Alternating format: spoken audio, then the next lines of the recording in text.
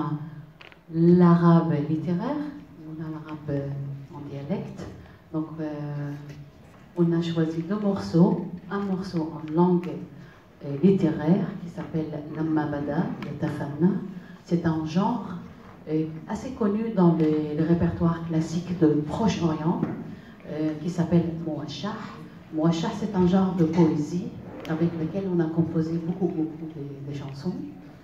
Et ensuite, on a choisi une chanson au titre Zoroni, c'est un genre de chant qui s'appelle Tartoura, ça veut dire une chanson légère.